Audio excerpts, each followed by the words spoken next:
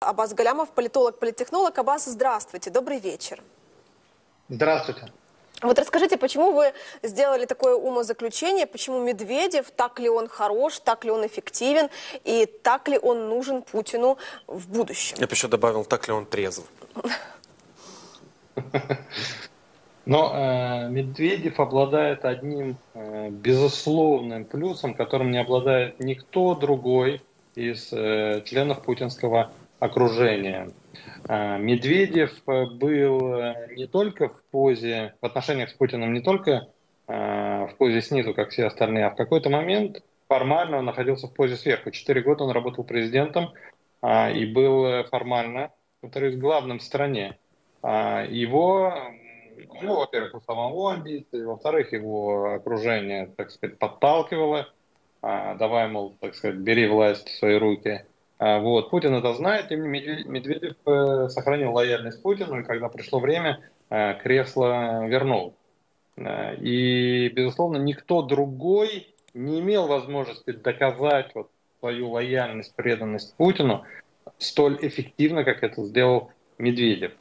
Соответственно, вот если говорить о доверии, о том, что он не предаст потом, когда станет главным, вот Медведев – это единственный проверенный вариант. Тоже, конечно, не сто процентов. Люди меняются. И если он не предал тебя вчера, это не значит, что он не предаст тебя завтра.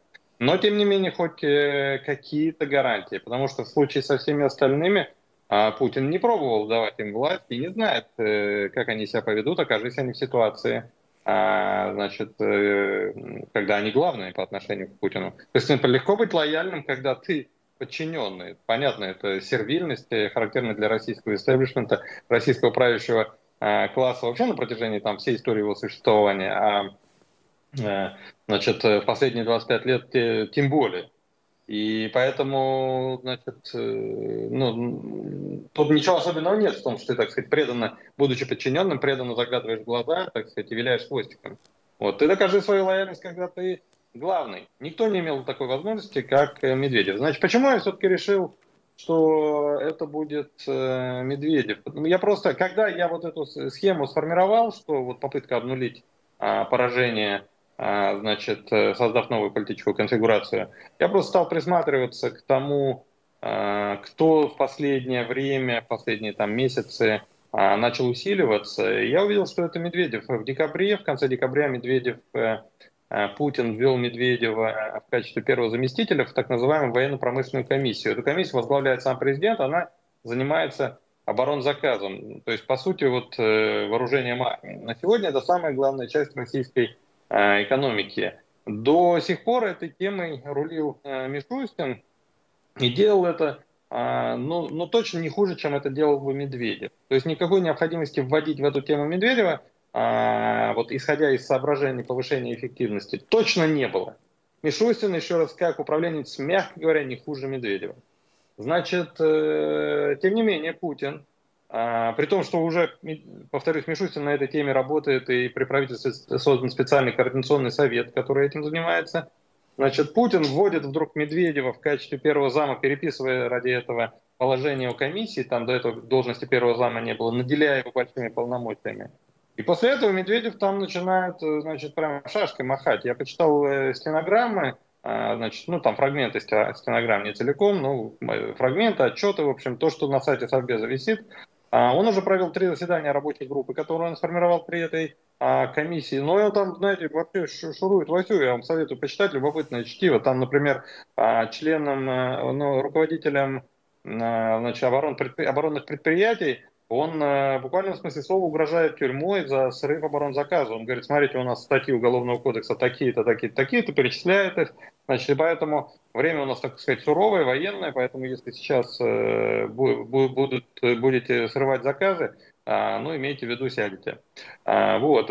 Повторюсь, это, в принципе, работа правительства, это вторжение Медведева на э, поляну правительства. Мишустин а, это чувствует, и он, конечно, очень сильно сопротивляется. Там а, под Новый год развернулась прям такая нешуточная битва. Медведев был назначен, если не ошибаюсь, 26 декабря, а уже 30 декабря а, Ой, Медведев, извините. Медведев был назначен первым замом вот в эту военно-промышленную комиссию 26 декабря, если не ошибаюсь, ну, плюс-минус день. И на плюс-минус день 30 декабря Мишустин, премьер, уволил руководителя аппарата этой самой военно-промышленной комиссии. Там такая интересная штука. Комиссия вроде бы президентская, но ее документационным аппаратным сопровождением, а это, собственно говоря, основа успеха, да, занимается аппарат правительства. И там есть специальный выделенный человек в ранге заместителя руководителя аппарата правительства, тире руководитель аппарата ВПК, в этой военно-промышленной комиссии. Там на протяжении долгих лет сидел, значит, такой оборонщик опытный э, Боровков. И а, Мишустин премьер вообще-то уже три года. И все три года Мишустина вот этот Порошков устраивал. Но только как только Медведев зашел в, в эту комиссию, а, Мишустин Боровкова отправил на пенсию, хотя там пенсионный срок еще не вышел. А, значит, почему? Потому что Боровков, в принципе, на него Медведев вполне может положиться. Боровков работал и при Медведеве, и с Медведевскими, и с самим Медведевым. У него нормальные ровные отношения. Он им, так сказать, вредить не будет, он честно будет выполнять свою работу. То есть через буквально 3-4 дня после того, как Медведев туда зашел, Мишустин убрал э, руководителя аппарата, а это, повторюсь, это половина успеха, значит, три четверти успеха. Убрал человека, на которого Медведев может положиться, и поставил туда человека, на которого Медведев не может положиться. То есть абсолютно своего ставленника, э, значит, Богдан Стешка, Стешка такой, из э, человека, который у Мишустина работал в, э, в налоговой службе советником. А, то есть он прям конкретно совершенно пытается усложнить работу Медведева. Медведев в ответ сформировал рабочую группу. То есть, и раз я не могу положиться, значит, вот на все целое, на всю комиссию, да, то я тогда создам узкое, на которое могу положиться. Он создал рабочую группу при комиссии, положение ему позволяло это сделать, и начал э, через комиссию работать. То есть, окей, широкое вы мне не отдаете, я в узком начну работать, и, и, и там я буду хозяин. Ну, то есть аппаратная борьба развернулась там такая вот а, нешуточная, весь Белый дом там стоит на ушах. И, значит, ну, я, конечно, не исключено, что Путин просто сошел с ума.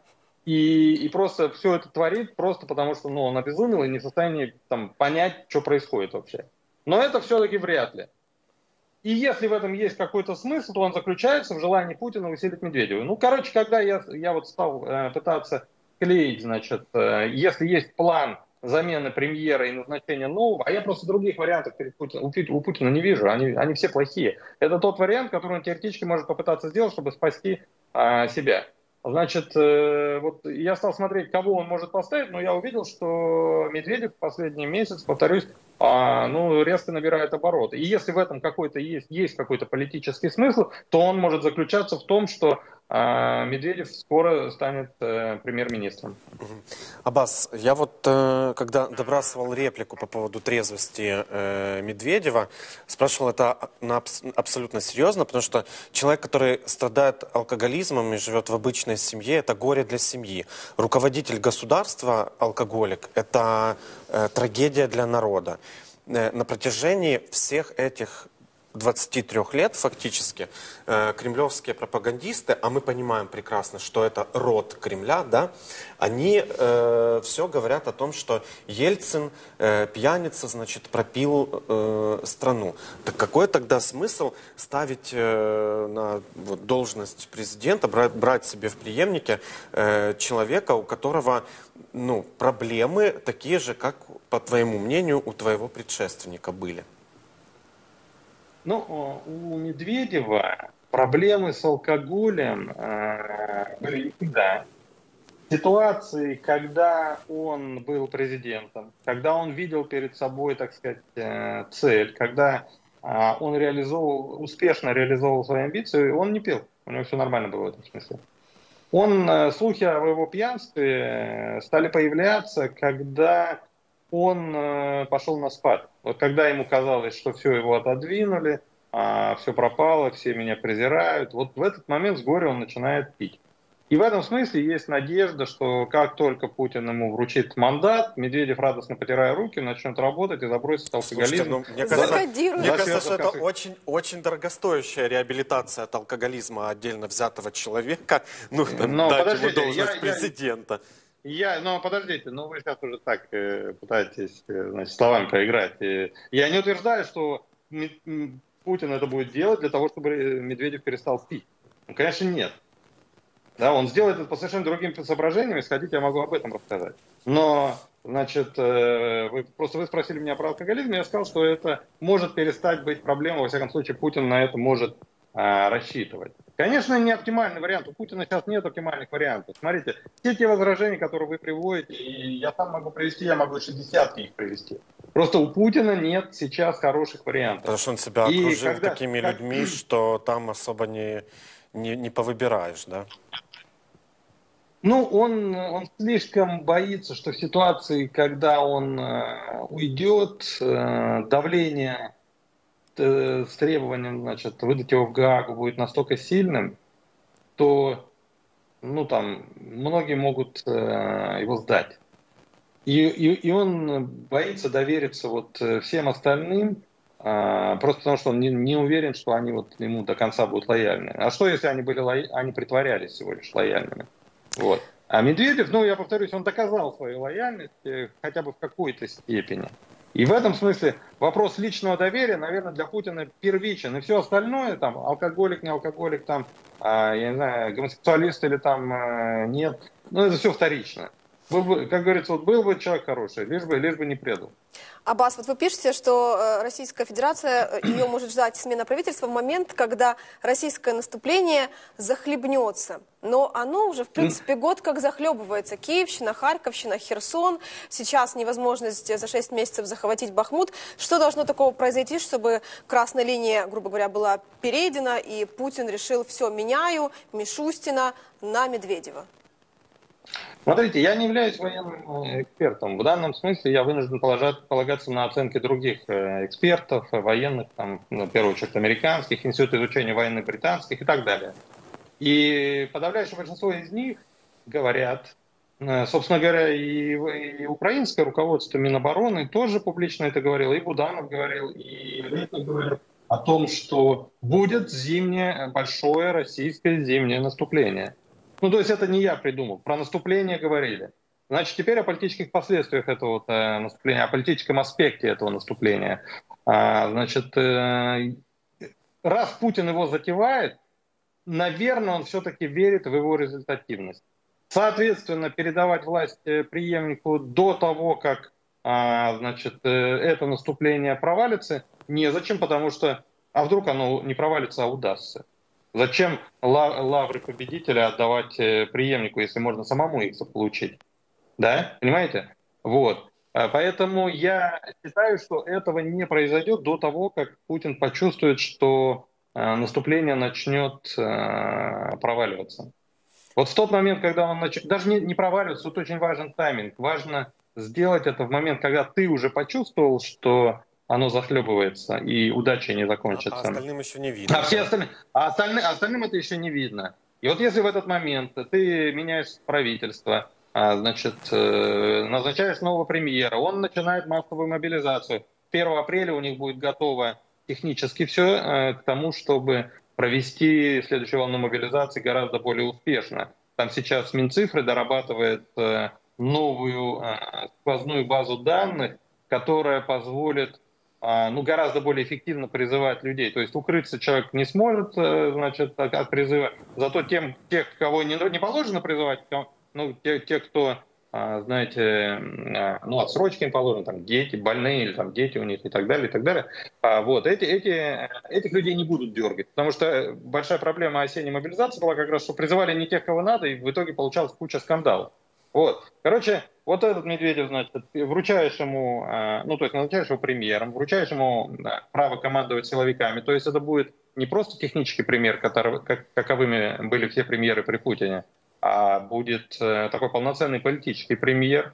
А, значит, прямо ему говоришь, что, а, значит, давай, до конца года у тебя есть э, время, выигрывай войну, и тогда ты выдвигаешься в качестве преемника, вот в декабре выдвижения на следующие президентские выборы, выдвигаешься в качестве э, преемника, а я ухожу на пенсию. Значит, и, э, и он начинает делать все те действия, которые, э, значит, ну, непопулярны, типа мобилизации, да, и это уже делается от его имени, а твоя связка с, с этими действиями уже все-таки не настолько очевидна. Я не говорю, что 100% удастся избежать ответственности. Конечно, нет.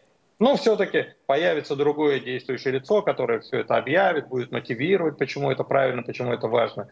Ну, в общем, есть надежда, что виной Путина за все это, не, ну, так сказать, уже будет она минимальной. И самое главное, вот когда захлебнется, окончательно всем стало понятно, что несмотря на все эти там действия а, значит, наступление захлебнулось, то Путина уже нет. И при нем-то было нормально, при нем наступали. Да, а как Медведев пришел, что-то все посыпалось. То есть Путину очень важно снять с себя ответственность перед собой, понимаете, очень важно, перед историей, что называется, перед вот этими пацанами из Политбюро, там, типа Ротенбергов. Там же совершенно конкретные пацаны, вот, которые, э, ну, такая, знаете, стилистика питерской подворотни. Там слабость не прощают. Поэтому очень важно не выглядеть а, лузером вот в, в глазах российских элит. Пусть Димон выглядит э, лузером. Да, тогда, в принципе, через полгода, когда все будет проиграно, можно а вернуться со словами, значит, эх, Димон, э, да, проиграл так все. Вот. И тогда есть шанс, что ну, ты попытаешься вот э, не, не, не нести ответственность за поражение. Понимаете? Для Вас... лидера а такого можно, военного можно... типа... Сейчас последняя мысль. Для такого лидера, как Путин, Путин военного типа, а, такого матча, да, очень э, смерти подобно нести ответственность за поражение. А за неудачный выбор преемника нести ответственность можно. Это гораздо более слабая ответственность. Да, позвольте уточнить вот что. Вы вспомнили э, о российских элитах.